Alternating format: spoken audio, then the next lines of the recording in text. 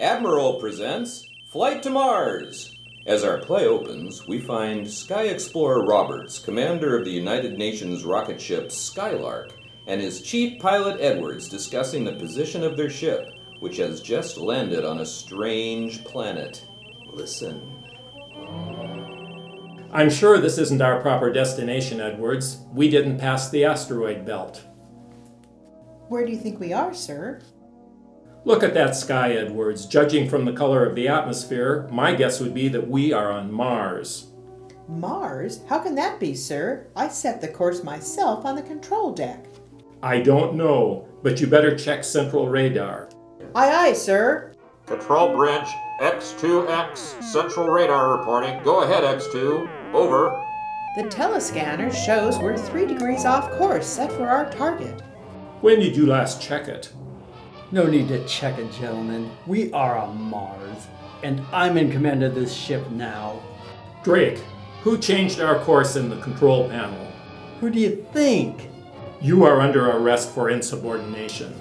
Don't move, Roberts. This atomic disintegrator is all set. One false move by either of you, and I'll pull the trigger. You're a coward, Drake. Just because I didn't make you chief pilot instead of Edwards here, you're willing to do this. Just take a step, Roberts, and I'll show you if I'm a coward. Give me that disintegrator. You can't give me orders. I told you I'm in command of this ship. You can't get away with this, Drake. Oh, can I? I'll tell the Martians that I command the Earth and will turn it over to them as a colony if they'll let me run it. You fool! There's nobody on Mars. Human life as we know it can't exist here. We'll see about that. I'm going to take that disintegrator away from you, even if it kills all of us. I warn you, Roberts. Another step and I'll let you have it. Better do as he says, sir. Now you're talking, Edwards. And let's start marching. We're going to find some Martians. In just a minute, we will return to our story Flight to Mars. In celebration of Admiral's two millionth TV Jubilee, Here's the greatest offer in television history. A beautiful Admiral radio phonograph combination worth $90 will be given to you free. Yes, free of extra cost when you buy an Admiral TV console. Your choice of many cabinet styles, all with 17 or 20 inch rectangular Dynaray tube for the clearest picture in television. And when you buy, you get this free an Admiral triple play radio phonograph that plays all records regardless of size or speed. Here's complete home entertainment for the price of television alone. Now, back to our exciting adventure story Flight to Mars. After being forced to trudge many miles across the Martian plains, Roberts is still trying to convince Drake of the folly of his plan. Drake, I've told you time and again, Martians don't exist. Shut up, Roberts. Move along, Edwards. I'm thirsty. Drake, you fool. You're getting us a long way from the water on the ship. I've got water. But you can't take off your helmet to drink it. Without that ray glass, you'd go up in blazes.